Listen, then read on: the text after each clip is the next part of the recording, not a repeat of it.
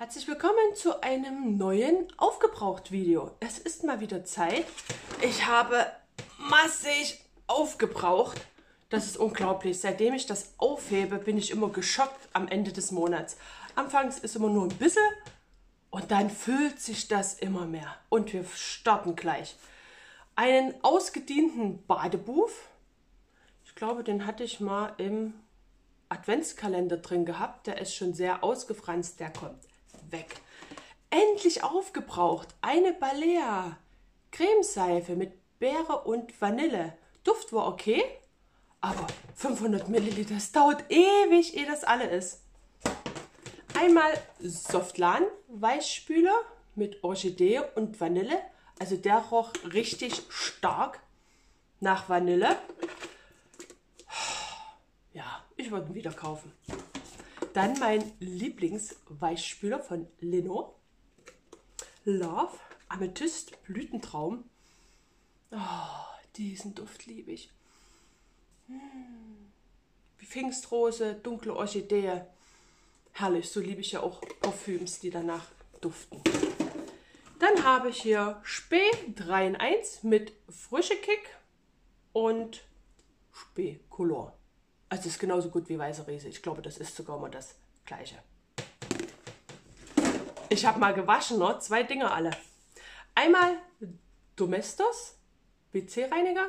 Ich nehme mal das, was im Angebot ist. Hauptsache, das hat hier so eine Beuge, damit ich das gut unter den Chlorrand bekommen kann. Hier habe ich einen Domestos Hygienereiniger mit Aktivchlor.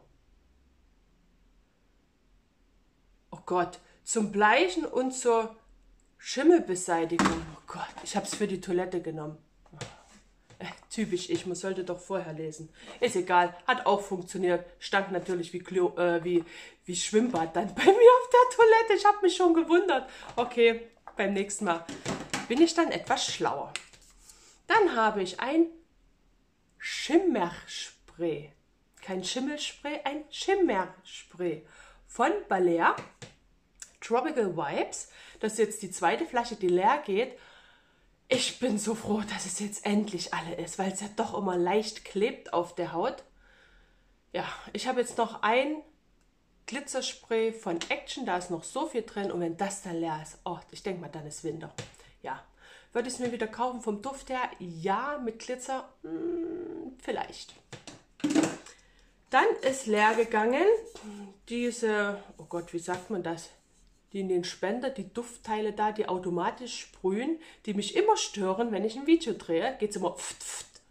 Ja, obwohl ich muss sagen, so toll haben die nicht gerochen. Die von Glade sind einfach besser. Also ich muss sie jetzt noch mit alle machen, aber der Duft, den nehme ich kaum wahr. So, mein Mann hat ein Duschgel leer gemacht von Avon Ocean Sorg. Das ist ein sehr frischer. Ja, da kommt sogar noch was runter. Oh, hätte vielleicht noch für einmal gereicht. Ja, kaufen wir auch immer wieder nach. Dann hatte ich hier in einer Abo-Box ein Wimpern-Revitalisierungsgel. Ne, das war im Adventskalender von Glossybox letztes Jahr habe das extra noch mit aufgehoben.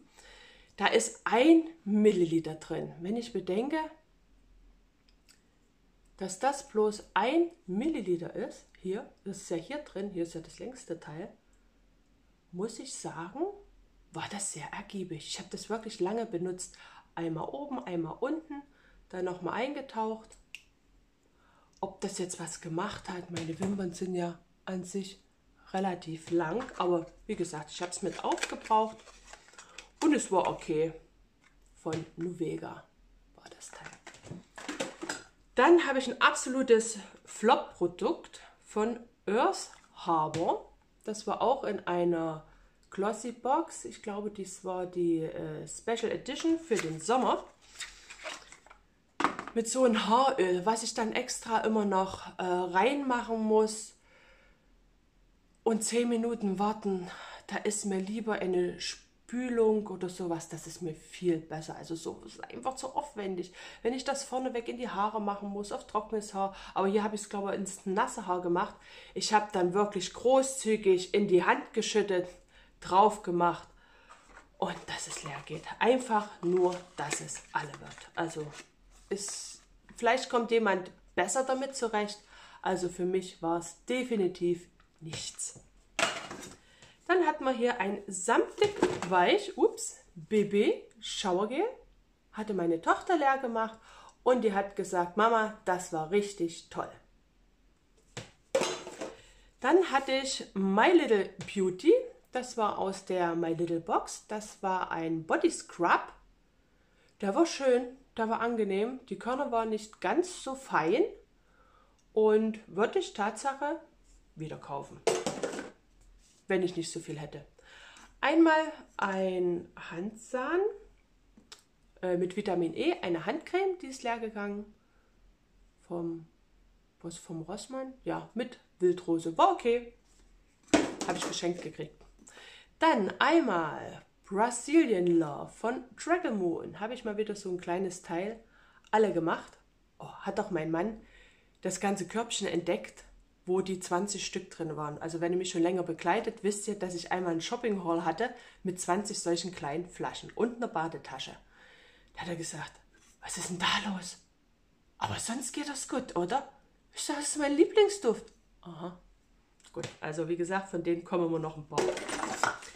Dann habe ich Dusche und Shampoo 2 in 1 von Balea Med. Das habe ich jetzt für meinen Mann gekauft gehabt, dass er das benutzt. Ah, sein Neurodermitis ist doch stärker als dieses Teil, aber es war ihm angenehm, es hat ihm sehr gut gefallen. Aber weggegangen ist es nicht. Aber er müsste vielleicht wirklich mal zum Arzt gehen, aber das macht er ja nicht. Aber ich sage immer, er ist alt genug, muss er selber wissen. Dann habe ich hier ein Isana Haarspray, Stärke 5, kaufe ich auch immer wieder nach. Dann hat mein Mann leer gemacht von Giorgio Armani. Das hat er letztes Jahr zum Geburtstag bekommen. 30 Milliliter, ist auch leer gegangen. Dann habe ich hier Body und Soul. Das ist aus der Müller Drogerie. Ich denke mal, das ist so eine Art, so ein Tube äh, zu den Rituals Produkten. So aromatisch. Also ich gehe davon aus, dass es sowas sein sollte. Und das ist mit oh Gott, Iris und Sandelholz. Davon gibt es noch Duschgels. Ähm, ich glaube, Körpercremes und Schaumbäder. Also ich glaube, das war jetzt ein Duschgel. Und ich würde, wenn ich nochmal dorthin kommen sollte, zu einem Müller, mir das Schaumbad holen. Ah, das riecht wirklich gut. Die anderen muss ich noch testen. Da gibt es noch ein gelbes und noch ein grünes. Also das lilane ist jetzt leer. Dann habe ich hier ein Balea Deodorant. Vom Duft her sehr schön aber ich kann mir das wirklich nur auf den Körper sprühen, nicht unter die Arme, weil ich von Deo-Sprays halt leider immer Ausschlag. Dann einer meiner, oh, klebt alles, vier Cremes, die Coco Cabana von DM ist jetzt endlich leer gegangen. Ich hatte ja damals auch vier oder fünf Stück gekauft und bis aufs letzte leer gemacht ja, die könnte ein bisschen besser einziehen. Aber sonst vom Packaging her gefällt mir der Napf richtig gut. Und ich habe jetzt noch einen in Gebrauch und bin dann wirklich froh, wenn der alle ist. Ich habe zwar dann noch einen in den dunkleren Rot, mal sehen, wie das ist, aber würde ich jetzt erstmal nicht nachkaufen. Ich brauche eine neue Duftrichtung. Dann habe ich ein äh, von Jupiter Lane, ein Moonflower Eau de Toilette 100% natural Spray. Äh, es roch ein bisschen wie Marzipan. Also ganz leicht blumig. Allerdings der Sprühstoß, der war so, so fein, also richtig fein, wo ich immer denke, es muss doch mal was auf die Haut kommen. Also würde ich mir jetzt, wenn dann als Körperspray, ein nasses Körperspray, wenn es sowas gäbe, aber das war mir einfach zu wenig. War mir einfach zu wenig auf der Haut. So, was haben wir da noch? Oh Gott, hab noch jede Menge. Biotherm. Live Plankton Elixier. Das war meine Probe von Douglas. Das war okay. 5 Milliliter. Das, die kleinen Tuben, die sind immer so ergiebig. Das ist Wahnsinn. Dann ist leer gegangen von Urban Decay mein Allrider ein Fixing Spray. Also das ist wirklich, da kann man wirklich Sport damit machen. Ist sehr zu empfehlen. Ich habe noch zwei im Backup. Dann habe ich von The Cure. Das ist ein Mikrobiome, ein Repair Mist. Oh Leute, wisst ihr, wie das stinkt? Also kein Nachkaufprodukt. Einfach nur, oh. Mag sein, dass das vielleicht gut ist. Ich habe das dann einfach nur noch auf die Beine gesprüht. Also, nee, also am Duft müsst ihr da wirklich was machen. Dann habe ich von Douglas Regenerating eine Schlafmaske. Die war gut. Die roch nach Melone. Mmh, ein schöner Duft. Roch nach Melone habe ich dann abends immer, wenn ich keine Gesichtsmaske benutzt hatte, habe ich dann das abends aufgetragen. Muss natürlich aufpassen, dass ich dann nicht genau auf dem Kissen liege, damit es anbackt. Aber hat die Haut wirklich weich gemacht. Würde ich Tatsache nochmal nachkaufen. Dann ist leer gegangen von Rival Loves Me ein Color Correcting Concealer. Ach, war einfach zu hell. Aber ich habe ihn aufbenutzt. Ich benutze alles. Und wie gesagt, mir einfach zu hell, der war mal irgendwo drin und daher habe ich ihn mit aufgebraucht.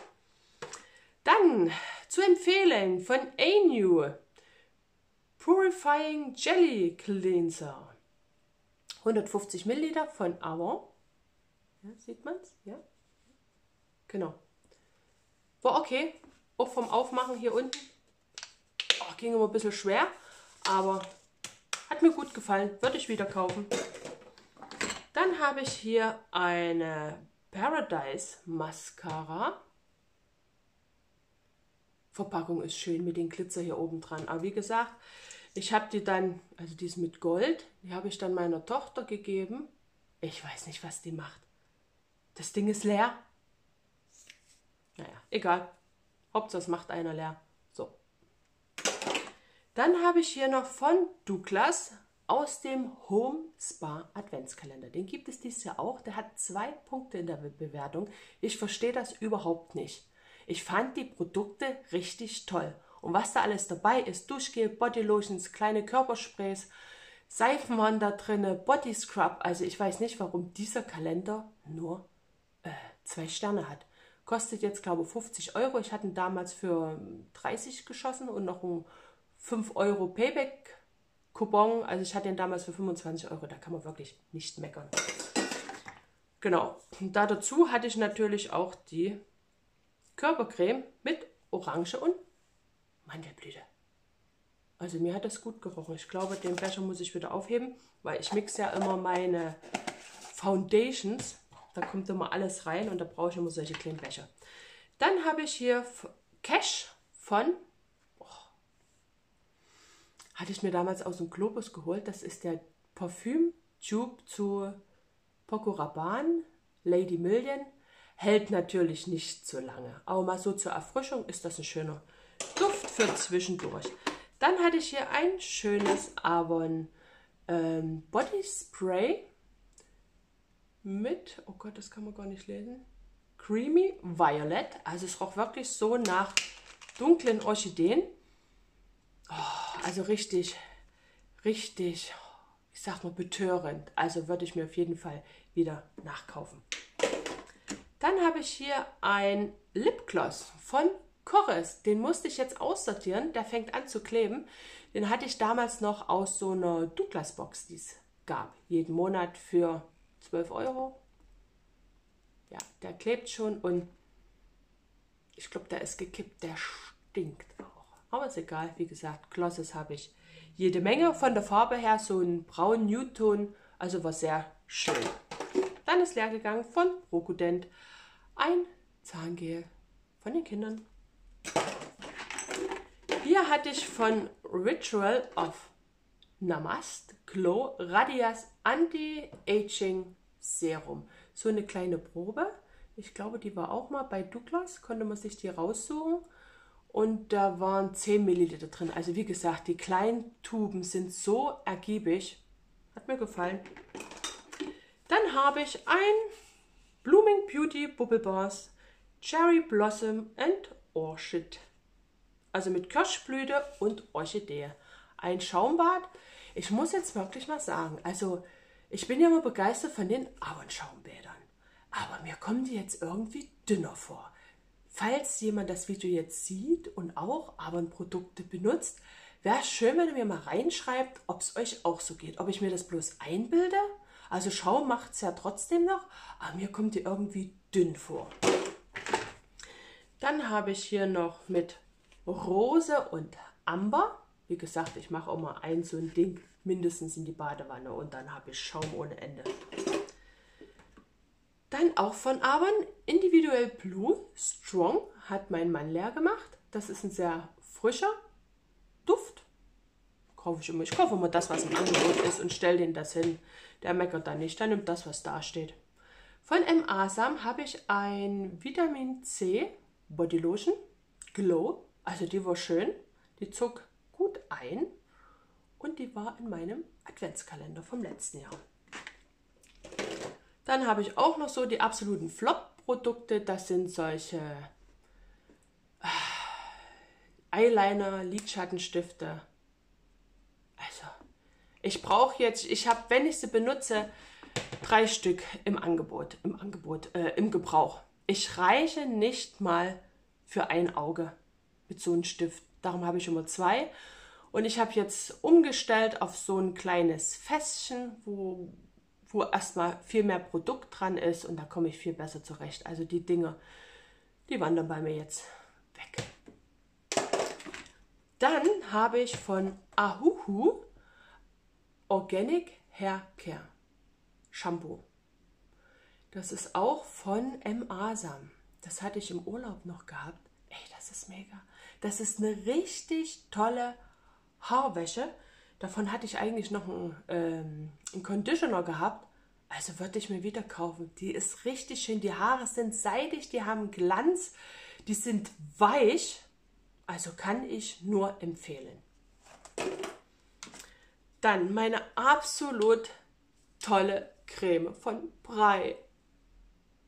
Die hatte ich mal von Purisch in so einer Überraschungsbox, die ich gewonnen hatte bei Claudis Welt, ja. Oh, dass das leer ist. Die war so schön, die roch gut. Wie früher die CD-Seife, das habe ich euch ja auch schon gesagt. Oh, hebe ich das jetzt oft, dass ich mich immer daran erinnere, was es für schöne Creme gibt? Ja, die muss ich aufheben, weil die würde ich mir definitiv nachkaufen. Aber so eine Creme kostet über 40 Euro. Dann habe ich hier von Lancôme eine Multilift Ultra Creme. Das war mal so ein Dreier-Set mit einem Serum, Creme und, ach, und eine Augencreme. Also die hatte ich mit dem Urlaub gehabt. Die war auch echt toll. Nehme ich immer mit, solche kleinen Teile. Dann ein Baleamen Deo-Roller. Wird auch immer wieder nachgekauft. Antitranspirant, Anti-Fleckenbildung. Kann ich empfehlen. Kaufen auch immer wieder nach. So, dann hat meine Tochter leer gemacht von Bilou. Ähm, das war ein Duschgel. Slushy Apple. Also es war so ein grüner Apfelduft. Hat ja auch gefallen. So, dann hatte ich hier von CV von hm, Müller Drogerie, genau. Das ist die Eigenmarke, waren hier Pickle Patches. Entschuldigung. Ähm, genau, die sind auf so einer kleinen so einen kleinen Blister und die kann man sich dann auf die Pickel drauf machen über Nacht. Also bei mir funktioniert es gut. Bei den Kindern, die jetzt so langsam pubertieren. Mama, ich hatte das an der Lippe gehabt auf einmal. Und mein großer, Mama, ich hatte das auf mein Auge gehabt morgens. Ich sage, was macht denn ihr im Bett? Wie wühlt denn ihr rum? Aber wie gesagt, ich habe noch ein paar und ich brauche die auf. Die sind wirklich gut. So, dann habe ich noch ein Imperial Rose, eine kleine äh, Votivkerze von Ritual, war mit im Adventskalender, habe ich leer gemacht, wollte ich euch zeigen. Oh, die gehen schnell leer, das ist natürlich toll. Habe ich jetzt noch vier Stück stehen, also gefällt mir sehr gut. So, die zwei Körbe sind leer, es geht aber noch weiter. Jetzt kommen noch die ganzen Masken. Als erstes von Isana Wattepads. Sind leer gegangen, kaufe ich auch immer wieder nach. Ich mag die von Isana am liebsten als wie die von DM. Dann hatte ich eine Gesichtsmaske, Douglas Radianz Face Mask. Mir war die zu fest. Die habe ich jetzt auf zweimal benutzt. Die war relativ fest. Die musste ich erst in der Hand ein bisschen, ähm, bisschen weich machen und dann auftragen. Das war eine Probe, eine Gratisprobe. Dann für eine Limited Edition mit Kokosnuss und Drachenfrucht. Die war schön von Balea. Dann habe ich noch von Revolution einen Concealer. Ich glaube, den hat meine Tochter mit vermatscht. Da kann ich jetzt gar nichts dazu sagen. Aber naja, ist leer. Dann ist mal wieder leer gegangen. Eine Lippenpomade von Nature Me. Green Urban Beauty ist leer. Es ist leer. Es ist hier vorne noch ein bisschen was drin. Wie gesagt, das kratze ich nicht raus. Das habe ich nicht nötig, weil ich noch zehn Stück solche Stifte habe. Aber war sehr schön. Dann habe ich aus dem Adventskalender von Isana einmal Hyaluron Power Mask und eine Verwöhnmaske. Der Duft war richtig schön. Also würde ich mir, wenn es die geben würde, nachkaufen. Also der Duft roch gut. Genauso wie die Anti-Faltenmaske für mehr Elastizität, weniger wahrnehmbare Falten, Collagen und Traubenkernöl für anspruchsvolle und reife Haut. Es sind immer zwei Stück drin. Ich reiche immer relativ weit. Manchmal mache ich es mir auch bloß unter das Auge. Dann habe ich hier eine Lippenmaske, die hatte meine Tochter benutzt. Die findet das immer voll lustig. Und ja, merkt sie da immer darum. Dann haben wir hier dreimal Augenpatches. Isana Hydrogel, das sind die Butterfly. Die waren im Abverkauf dann für 50 Cent. Habe ich natürlich die ganzen zwei Stiegen mitgenommen für 5 Euro. Ich glaube 20 Stück waren dann da drin. 20 Stück? Waren da 20 Stück drin? Ja, dann habe ich 10 bezahlt. Ich habe es mir geteilt. Meine Tochter hatte, glaube ich, 10 Stück und ich hatte 10 Stück. Genau. Also, ja, äh, die passen nicht so toll unter das Auge, aber für einen halben Preis, wie gesagt, nimmt man das mit. Dann haben wir noch eine Lippenmaske und einmal Augenpads. Eine Lippenmaske, ja, ich fand das mal angenehm, erfrischend.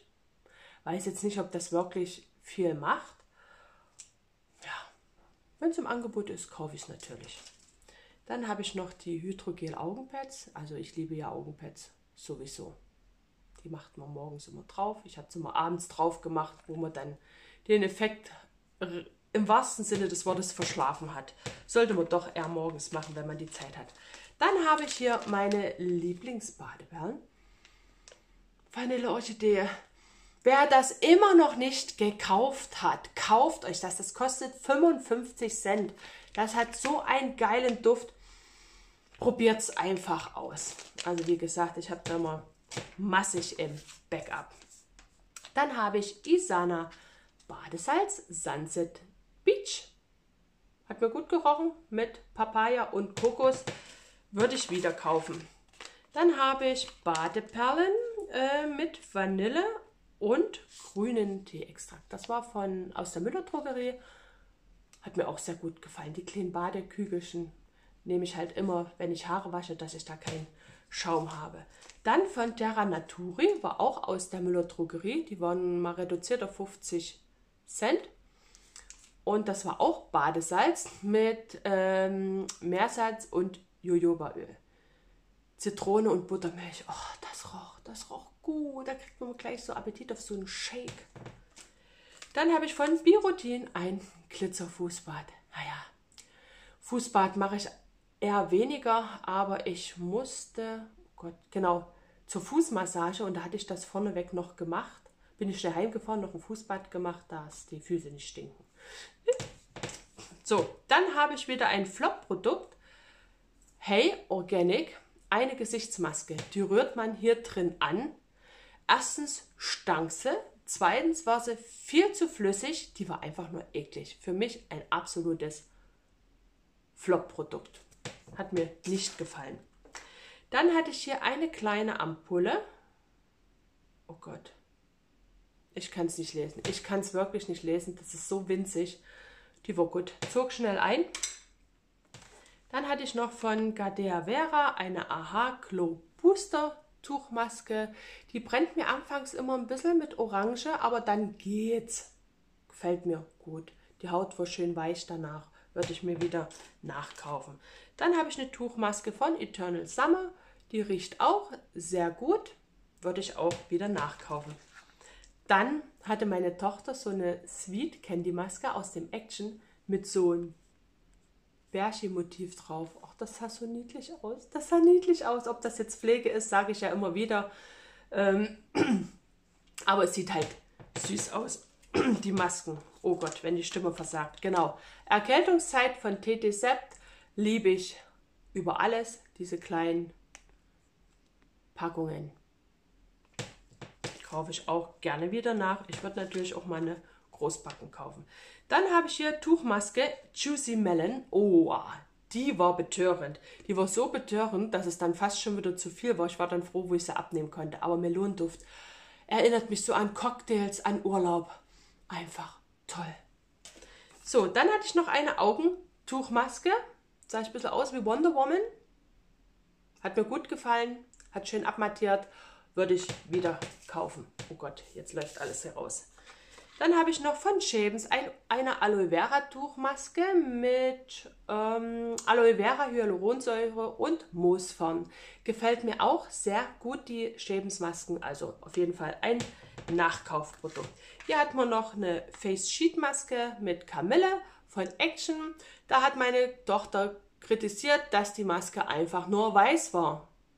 Hm, geht nicht so eine Maske, wo so eine Blume drauf ist, muss halt auch ein Aufdruck drauf sein. Also ein Verbesserungsvorschlag. Bitte wieder mit Bild. Dann hatte ich hier eine äh, Face-Maske ähm, mit solchen... St also, die war ja so, ich sah aus wie so ein einsamer Ritter. Richtig wie eine Maske. Äh, na, das geht eigentlich gar nicht. Die war so fest, die musste ich immer wieder andrücken ja, ich habe es mal benutzt. Mein Mann hatte wieder gelacht und ja, also nochmal kaufen würde ich es nicht, aber die Verpackung sieht halt gut aus. Hoffentlich denke ich dran, dass ich die beim nächsten Mal nicht kaufe. Die war einfach zu derb. So, das war mein großes Aufgebraucht. Ich hoffe, es hat euch gefallen. Ich konnte euch ein bisschen weiterhelfen, euch vor Fehlkäufen zu bewahren oder euch schmackhaft zu machen, auf Neues auszuprobieren. Lasst mir gerne ein Like da, ein Abo das ist ganz wichtig, weil 50% meiner Zuschauer haben noch kein Abo dagelassen. Also wie gesagt, bitte, bitte, bitte, bitte, bitte, ein Abo. Wir wollen doch jetzt nur endlich mal die 400 knacken. Dass wir mal eine Verlosung machen können. Also macht's gut, eine schöne Woche. Bis zum nächsten Mal. Eure Karina. Ahoi.